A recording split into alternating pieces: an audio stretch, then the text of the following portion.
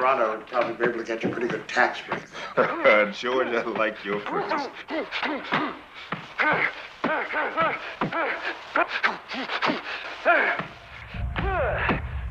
Hey, champ.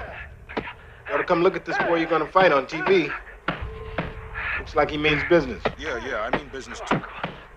Hey, Shirley, we got any more coffee out there? Oh, oh certainly, Mr. Creed. I'll get you some right away. After the fight, I may just retire and run for you. The arenas is on the program session. And, uh, Gross run with the arenas. Fuck! Fuck! Fuck!